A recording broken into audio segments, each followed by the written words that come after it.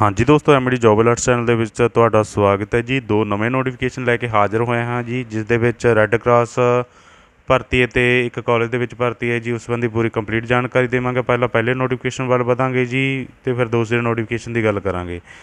ਅਗਰ ਤੁਸੀਂ ਸਾਡੇ ਚੈਨਲ ਦੇ ਉੱਤੇ ਪਹਿਲੀ ਵਾਰ ਵਿਜ਼ਿਟ ਕਰ ਰਹੇ ਹੋ ਜੀ, ਚੈਨਲ ਨੂੰ ਸਬਸਕ੍ਰਾਈਬ ਕਰਨ ਦੇ ਨਾਲ ਨਾਲ ਬੈਲ ਆਈਕਨ ਨੂੰ ਵੀ ਪ੍ਰੈਸ ਕਰ ਦੇਵੋ, ਤਾਂ ਕਿ ਪੰਜਾਬ ਸਟੇਟ ਵਿੱਚ ਆਉਣ ਵਾਲੀ ਹਰ ਇੱਕ ਸਰਕਾਰੀ ਨੌਕਰੀ ਸੰਬੰਧੀ ਜਾਣਕਾਰੀ ਪ੍ਰਾਈਵੇਟ ਨੌਕਰੀ ਸੰਬੰਧੀ ਜਾਣਕਾਰੀ ਜਾਂ ਪੰਜਾਬ ਦੇ ਵਿੱਚ ਕੋਈ ਵੀ ਨਵਾਂ ਅਪਡੇਟ ਆਉਂਦਾ ਹੈ ਨੋਟੀਫਿਕੇਸ਼ਨ ਆਉਂਦਾ ਹੈ ਜੀ, ਉਸ ਸੰਬੰਧੀ ਜਾਣਕਾਰੀ, ਜਾਂ ਪੰਜਾਬ ਦੇ ਵਿੱਚ ਕੋਈ ਵੀ ਕੰਪੀਟੀਟਿਵ ਐਗਜ਼ਾਮ ਆਉਂਦਾ ਜੀ, ਉਸ ਸੰਬੰਧੀ ਜਾਣਕਾਰੀ ਤੁਹਾਨੂੰ ਸਭ ਤੋਂ ਪਹਿਲਾਂ ਮਿਲ ਸਕੇ ਜੀ। ਸਾਡਾ ਇੱਕ ਟੈਲੀਗ੍ਰਾਮ ਚੈਨਲ ਵੀ ਹੈ ਜੀ, ਜਿਸ ਦਾ ਲਿੰਕ ਤੁਹਾਨੂੰ ਡਿਸਕ੍ਰਿਪਸ਼ਨ ਬਾਕਸ ਦੇ ਵਿੱਚ ਮਿਲ ਜਾਵੇਗਾ ਜੀ। ਸਾਡੇ ਉਸ ਟੈਲੀਗ੍ਰਾਮ ਚੈਨਲ ਨੂੰ ਡਿਸਕ੍ਰਿਪਸ਼ਨ ਬਾਕਸ ਦੇ ਵਿੱਚੋਂ ਜੁਆਇਨ ਕਰ ਲਵੋ ਜੀ। ਜਿੱਥੇ ਅਸੀਂ ਹਰ ਇੱਕ ਵੀਡੀਓ ਦਾ ਲਿੰਕ ਪਲੱਸ ਪੰਜਾਬ ਦੇ ਵਿੱਚ ਕੋਈ ਰਿਜ਼ਲਟ ਆਉਂਦਾ ਉਸ ਦੀ ਪੀਡੀਐਫ ਫਾਈਲ ਕੋਈ ਨਵਾਂ ਅਪਡੇਟ ਆਉਂਦਾ ਹੈ ਨੋਟੀਫਿਕੇਸ਼ਨ ਆਉਂਦਾ ਉਸ ਦੀ ਪੀਡੀਐਫ ਫਾਈਲ ਜਾਂ ਕੋਈ ਇਹੋ ਜੀ ਭਰਤੀ ਆਉਂਦੀ ਹੈ ਜਿਸ ਦੇ ਲਈ, ਭਰਨ ਦੇ ਲਈ, ਪੋਸਟਾਂ ਦੇ ਲਈ, ਸਾਨੂੰ ਐਪਲੀਕੇਸ਼ਨ ਫਾਰਮ ਦੀ ਜ਼ਰੂਰਤ ਹੁੰਦੀ ਹੈ।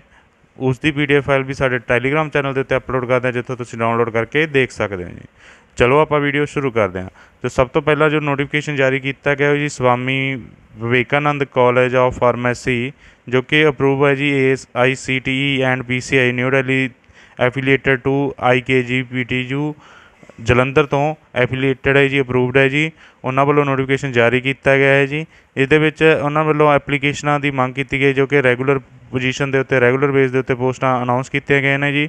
ਸਭ ਤੋਂ ਪਹਿਲੀ ਪੋਸਟ ਹੈ ਜੀ ਪ੍ਰੋਫੈਸਰ ਦੀ, ਫਿਰ ਐਸੋਸੀਏਟ ਪ੍ਰੋਫੈਸਰ ਦੀ, ਫਿਰ ਅਸਿਸਟੈਂਟ ਪ੍ਰੋਫੈਸਰ ਦੀ ਤੇ ਫਿਰ ਲੈਬ ਟੈਕਨੀਸ਼ੀਅਨ ਦੀ। ਕਿਹੜੇ ਕਿਹੜੇ ਡਿਪਾਰਟਮੈਂਟ ਦੇ ਵਿੱਚ ਇਹ ਪੋਸਟਾਂ ਅਨਾਉਂਸ ਕੀਤੀਆਂ ਗਈਆਂ ਨੇ ਜੀ? ਫਾਰਮਾ ਡੀ ਡੀ ਫਾਰਮੇਸੀ ਦੇ ਵਿੱਚ ਫਾਰਮਾਸਿਊਟਿਕਸ ਫਾਰਮਾਕੋਲੋਜੀ ਫਾਰਮਾਕੋਲੋ ਕੋਗਨੋਜੀ ਫਾਰਮਾਸਿਊਟੀਕਲ ਕੈਮਿਸਟਰੀ ਦੇ ਲਈ ਇਹ ਜੀ ਪੋਸਟਾਂ ਅਨਾਉਂਸ ਕੀਤੀਆਂ ਗਈਆਂ ਨੇ। ਪੇ ਦੀ ਗੱਲ ਕਰੀਏ ਤਾਂ ਜੀ ਪੇ ਸਕੇਲ ਹੋਵੇਗਾ ਤੇ ਕੁਆਲੀਫਿਕੇਸ਼ਨ ਹੋਵੇਗਾ ਐਜ ਪਰ ਪੀਸੀਆਈ ਤੇ ਏਆਈਸੀਟੀ ਨੋਰਮਸ ਦੇ ਅਕੋਰਡਿੰਗ ਹੋਵੇਗਾ ਜੀ। ਐਪਲੀਕੇਸ਼ਨ ਸਾਰੇ ਹੀ ਦਸਤਾਵੇਜ਼ ਦੇ ਨਾਲ ਜੀ ਤੁਸੀਂ ਇਹਨਾਂ ਦੇ ਦਫ਼ਤਰ ਵਿਖੇ ਪਹੁੰਚਦੇ ਕਰਨੇ ਜੀ ਅਟੈਸਟਡ ਕਰਕੇ 7 ਦਿਨਾਂ ਦੇ ਅੰਦਰ ਅੰਦਰ ਪਬਲੀਕੇਸ਼ਨ ਆਫ ਦਾ ਐਡਵਰਟਾਈਜ਼ਮੈਂਟ ਜੀ। ਕੱਲ ਦੇ ਨਿਊਜ਼ਪੇਪਰ ਦੇ ਵਿੱਚ ਨੋਟੀਫਿਕੇਸ਼ਨ ਜਾਰੀ ਕੀਤਾ ਗਿਆ ਹੈ ਜੀ। ਤੁਸੀਂ ਸੈਂਡ ਕਰਨਾ ਜੀ ਸੀਵੀ ਵੀ ਸੈਂਡ ਕਰਨਾ, ਤੁਸੀਂ ਈਮੇਲ ਰਾਹੀਂ ਜੀ ਆਪਣਾ ਰਿਜ਼ਿਊਮ ਸੈਂਡ ਕਰਨਾ ਜੀ, ਜੋ ਕਿ career@sviet.ac.in ਜੀ। ਇਹ ਤੁਸੀਂ ਆਪਣਾ ਸੀਵੀ ਈਮੇਲ ਕਰਨਾ ਅਤੇ ਇਹਨਾਂ ਦੇ ਦਫ਼ਤਰ ਵਿਖੇ ਆਪਣੇ ਦਸਤਾਵੇਜ਼ ਪਹੁੰਚਦੇ ਕਰਨੇ ਨੇ ਜੀ। ਇਹ ਕੈਂਪਸ ਹੈ ਜੀ ਚੰਡੀਗੜ੍ਹ ਪਟਿਆਲਾ ਨੈਸ਼ਨਲ ਹਾਈਵੇ ਰਾਮਨਗਰ ਬਨੂੜ ਵਿਖੇ ਹੈ ਜੀ। ਨੰਬਰ ਨੋਟ ਕਰੋ ਜੀ, ਵਧੇਰੇ ਜਾਣਕਾਰੀ ਲਈ ਇਹਨਾਂ ਦਾ ਆਫੀਸ਼ੀਅਲ ਨੰਬਰ 7888844295 ਹੁਣ ਆਪਾਂ ਨੋਟੀਫਿਕੇਸ਼ਨ ਨੰਬਰ 2 ਵੱਲ ਵਧਦੇ ਹਾਂ ਜੀ।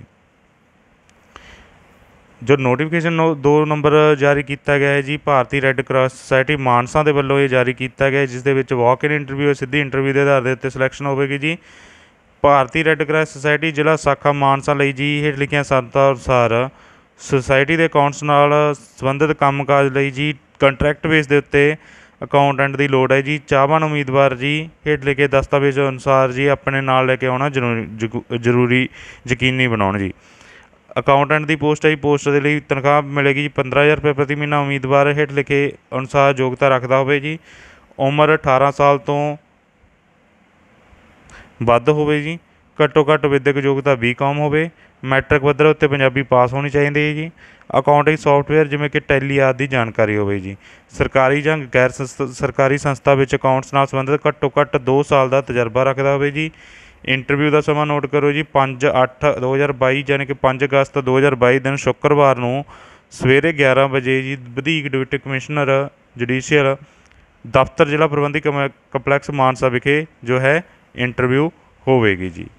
ਇਹ ਅੱਜ ਦੇ ਦੋ ਨੋਟੀਫਿਕੇਸ਼ਨ ਸੀ ਜੋ ਤੁਹਾਡੇ ਲਈ ਲੈ ਕੇ ਹਾਜ਼ਰ ਹੋਏ ਸਾਡੀ ਵੀਡੀਓ ਨੂੰ ਲਾਈਕ ਤੇ ਸ਼ੇਅਰ ਜ਼ਰੂਰ ਕਰਿਆ ਕਰੋ। ਇਸ ਤਰ੍ਹਾਂ ਸਾਨੂੰ ਮੋਟੀਵੇਸ਼ਨ ਮਿਲਦਾ ਤੇ ਅੱਗੇ ਤੋਂ ਨਵੇਂ ਨਵੇਂ ਵੀਡੀਓ ਤੁਹਾਡੇ ਤੱਕ ਲੈ ਕੇ ਹਾਜ਼ਰ ਹੁੰਦੇ ਰਹਾਂਗੇ ਜੀ। ਹੁਣ ਮਿਲਦੇ ਨਵੀਆਂ ਪੋਸਟਾਂ ਦੇ ਨਾਲ, ਨਵੀਂ ਵੀਡੀਓ ਦੇ ਨਾਲ ਤਦ ਤੱਕ ਲਈ ਰੱਬ ਰੱਖਾ ਜੀ।